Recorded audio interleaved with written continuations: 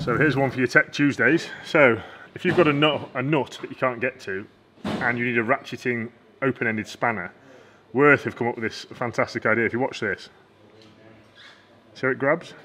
I'm going to pull down. If you watch again, you see it grabbing all the edge of the nut?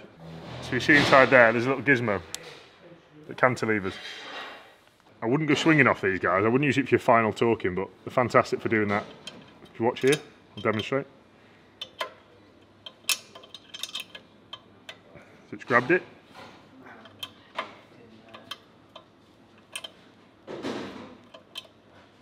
How cool is that?